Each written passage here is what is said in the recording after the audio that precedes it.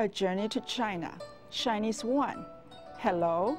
你好,我是于博士. I can hear that someone has already translated what I said into Hello, I'm Dr. Yu. 你好,我是于博士. Very good.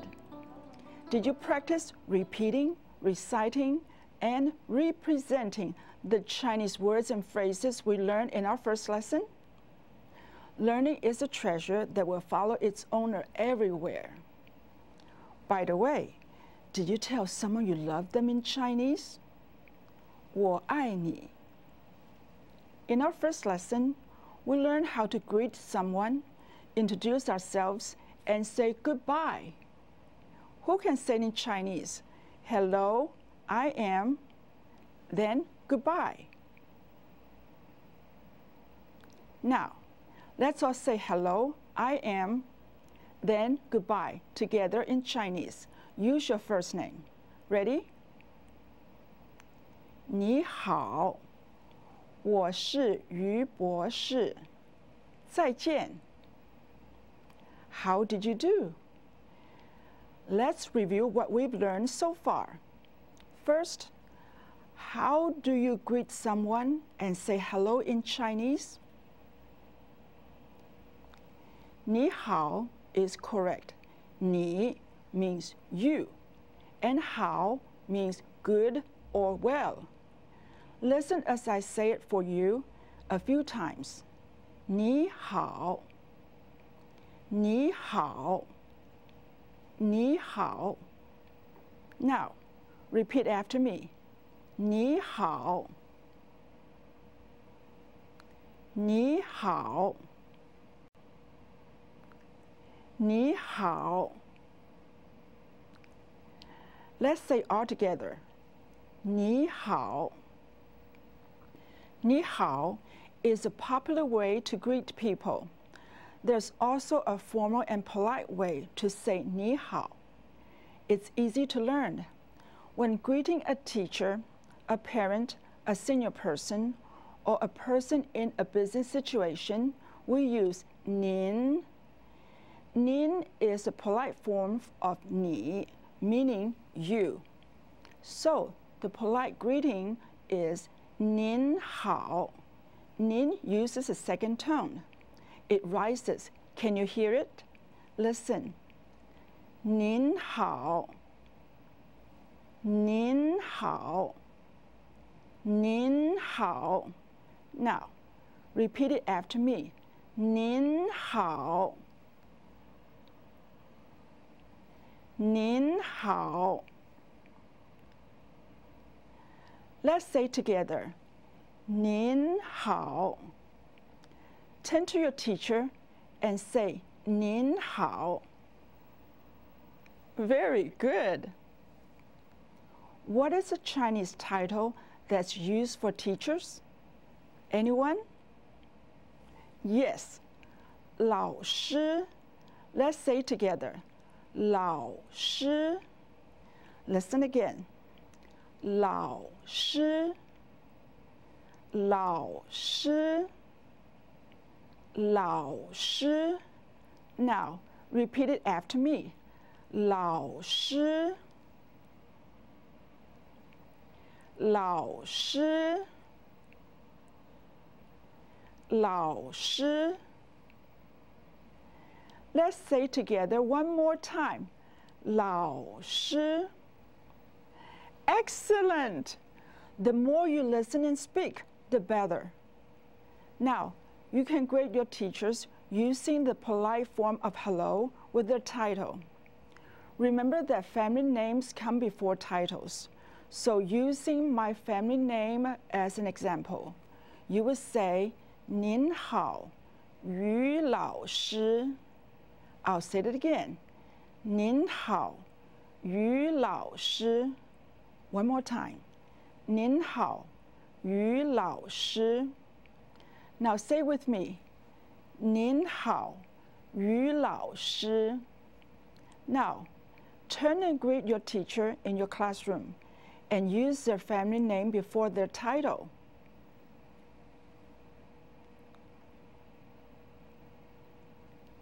Very good. 很好.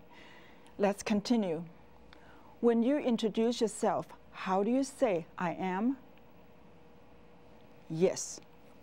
我是. Listen. 我是。我是。我是。Now repeat after me. 我是。我是。 我是。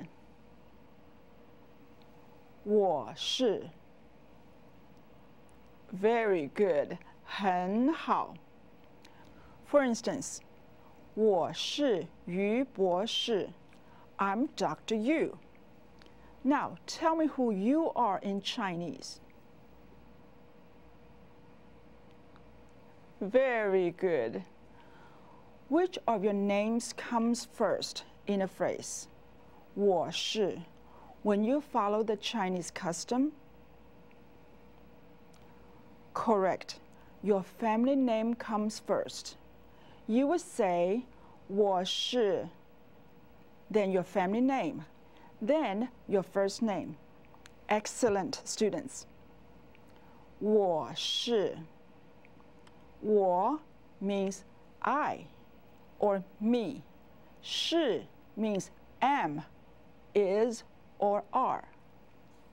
Finally, when it's time to leave, how do you say goodbye in Chinese? Yes, 再见. I'll say for you, 再见,再见,再见. Now, repeat it after me. 再见,再见.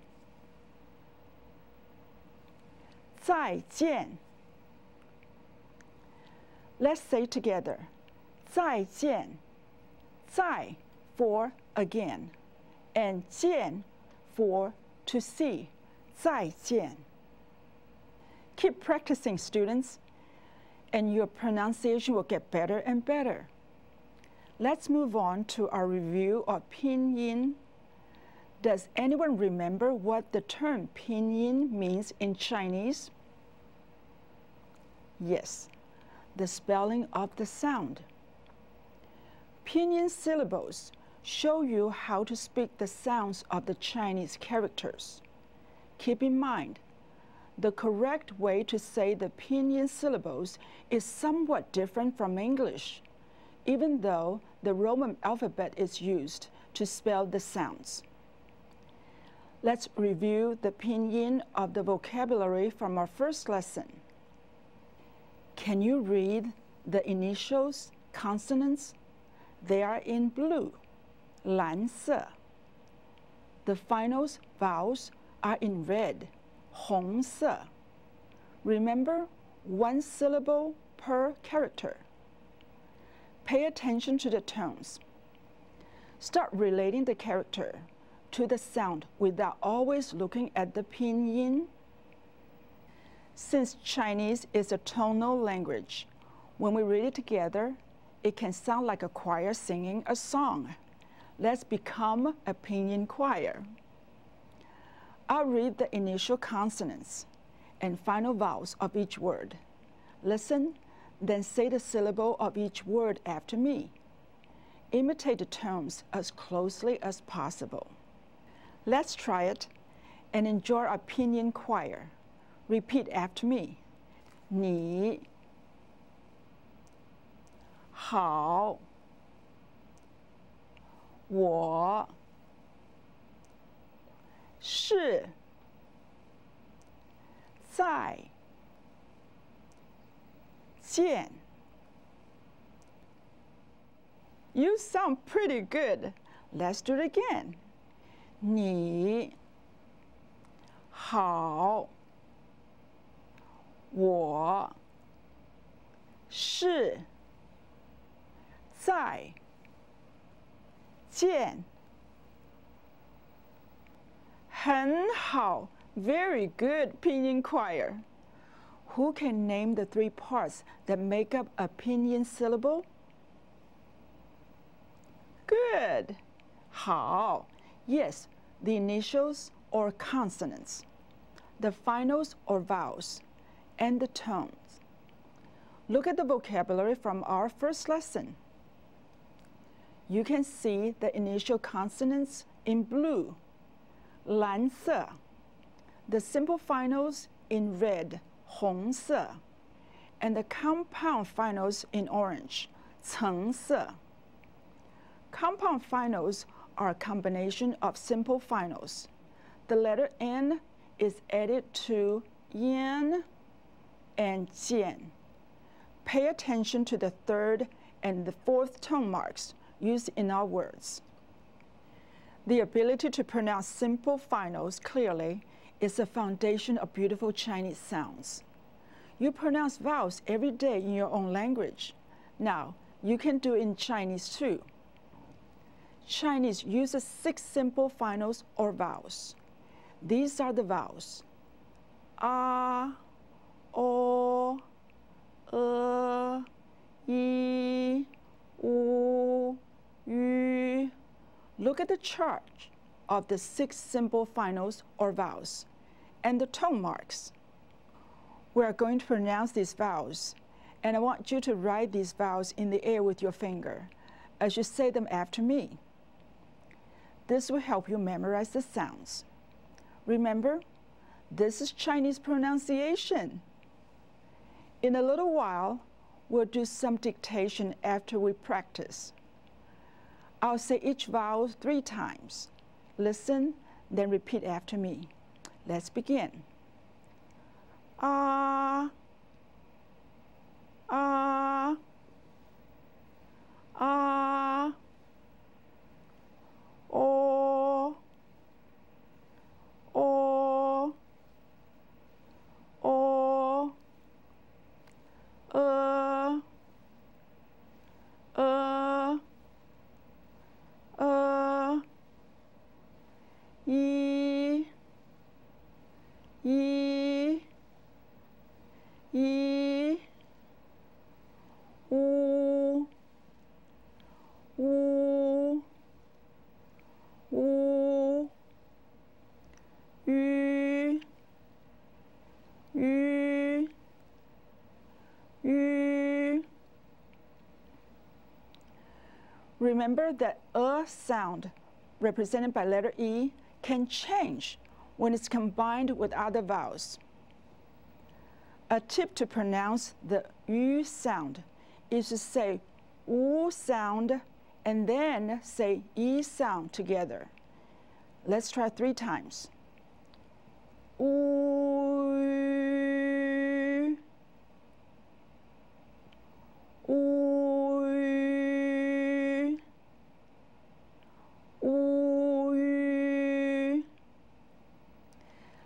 Let's take a look at the tone marks.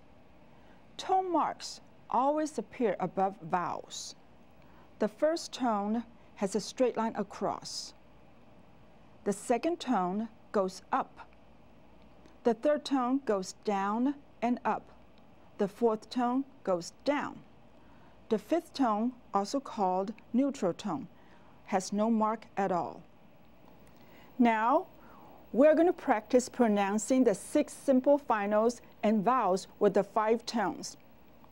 I'll also give you two words that use simple finals. Listen as I give you an example of each simple final with the tones.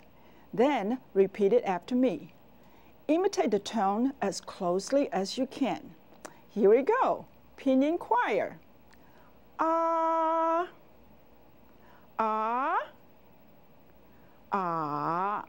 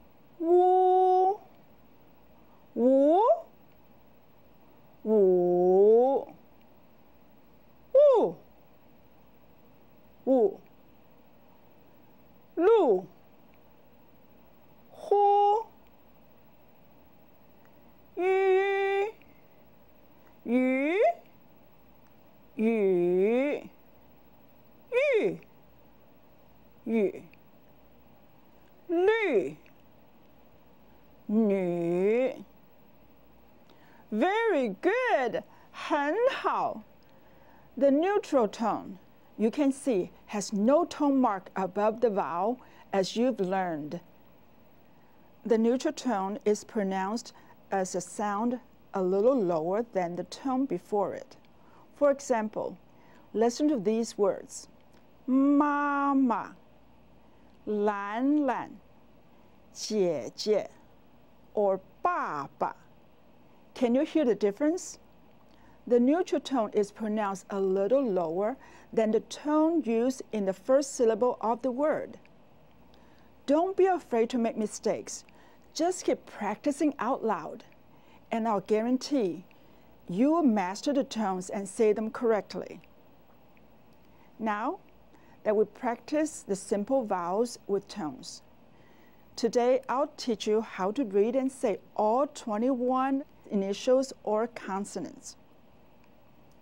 The first 11 initials or consonants sound similar in both Chinese and English. Listen, then repeat after me as we practice. Let's begin. Bo, po, mo, for, de, te,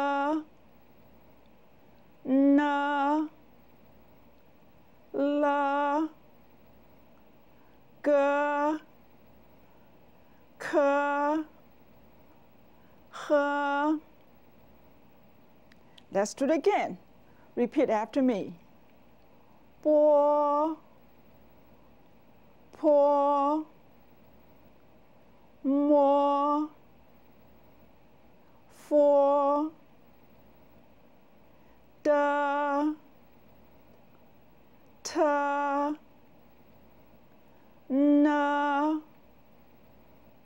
la, ga, ka, ha. Next are the 10 initials or consonants. They are very Chinese in the way they sound. Listen closely and repeat after me. Ji, qi, xi, zhi, chi, shi, ri, zi, ci, si. Let's say these 10 initials or consonants again. Repeat after me. Qi, qi, xi, zhi, chi, shi, ri, zi, ci, si. About half of the initials or consonants sound similar to English, so they're not difficult to pronounce. But ji, qi, xi, and r are very different from English. Repeat these after me again. Ji, qi, xi, r. If you can pronounce these initials or consonants well, you'll be able to speak Chinese without an American English accent. Now, we'll do some dictation. Take out your Lesson 2 video class worksheet and a pen. Listen and write down the first section, the six simple finals or vowels as I say them. Are you ready? Let's begin. Ah. I repeat. Ah. Next. E. I repeat. E. Next. Woo. I repeat. Woo. Next. Yu. I repeat. Yu. Next. O. I repeat. O. Next. Uh. I repeat. Uh. How. Good. We'll check your answers in a moment. Now, let's go to section two. Listen and write down syllables with the tone marks. Here we go. 你 I repeat. 你 Next. 我 I repeat. 我 Next. 好 I repeat. 好 Next. 是 I repeat. 是 We're finished with dictation. I want you to evaluate yourself on the simple finals in the first section. Look at the answer chart on the screen. How did you do? I'm going to say the vowels again as you listen and read to yourself. Ah, yi, u, yu, o, uh. Did you have any trouble between the vowels wu and yu or the vowels o and uh? Now, exchange worksheets with your neighbor. Check the answers on the syllables. Ready? Here are the answers. 你我好是 Put a check mark next to the syllables your neighbor got correct. Then return the paper to your neighbor. We've studied the second, third, and the fourth tones in our phrases. 你,我,好 use the third tone. 是,再 and 见 use the fourth tone. Our newest word, 您 uses the second tone. When you get your worksheet back, you know where you need to practice. Excellent! 非常好. Let's review the Chinese characters we've been learning.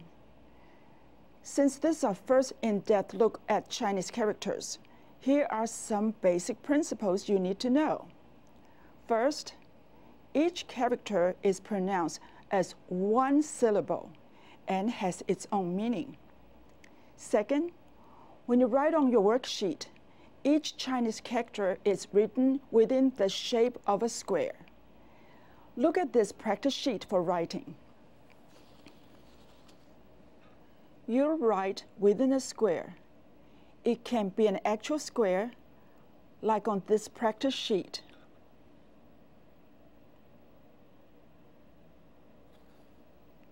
Or it can be an imaginary square. This helps you keep the characters within a framework. Later, when other people read your Chinese writing, they will be able to understand it, and so will you. Chinese characters communicate information directly and also with beauty.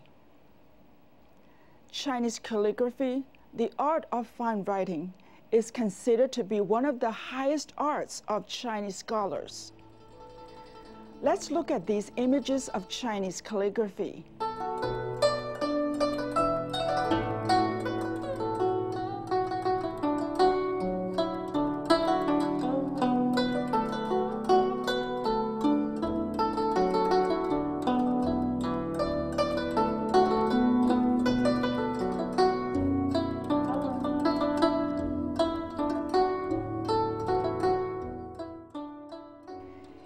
First lesson, I said that you'd be reading and writing Chinese characters. You can definitely do this.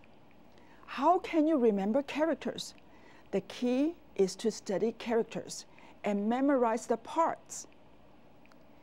You can do this by separating the parts of a character and memorizing them.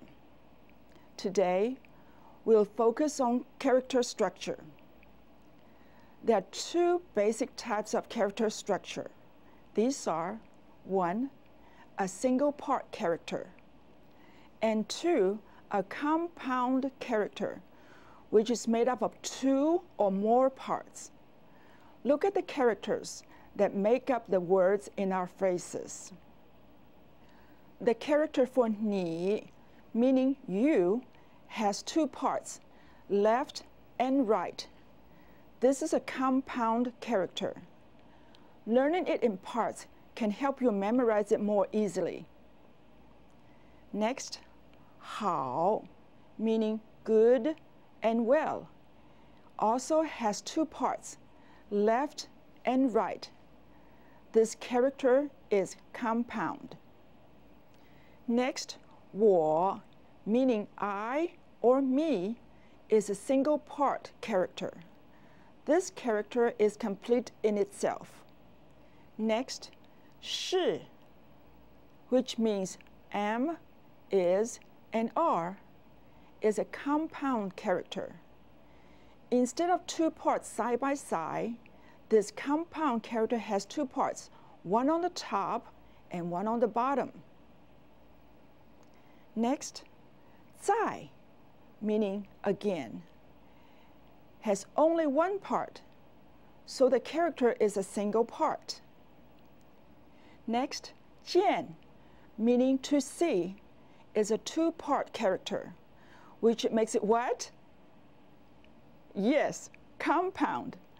Notice that it has an outside part wrapped around an inside part. Finally, nin is a three-part character. Three parts make it a compound character. Do you see anything familiar about Nin? See how the character on top is Ni squeezed to make it shorter? Ni itself is a two-part character. The character on the bottom is Xin, which is a pictograph of a heart. These characters combined create Nin the formal form of you. I think you understand the basics of character structure quite well by now. You've done a good job today, students. Today, we reviewed our phrases, learned the polite form of ni, which is nin, and reviewed the three elements of pinyin syllables. What are they? They are the initials, the finals, and the tones. We practice the six simple finals with tones as a pinyin choir and learn the pronunciation of most of the initials or consonants. We also tested ourselves on simple finals and some of the syllables from our phrases. We've learned the basic structure of Chinese characters and began to be familiar with the characters from our phrases. Before the end of class today, complete the third part of your worksheet on the structure of characters. Spend some time practicing the pronunciation of the initials with the audio CD this week and have some fun using Chinese phrases you know with your friends. Please repeat, recite, and represent all the things we've studied so you'll be ready for a quiz. Students, remember that learning never ends. 学无止境. I look forward to seeing you again on A Journey to China. 中国之旅，再见。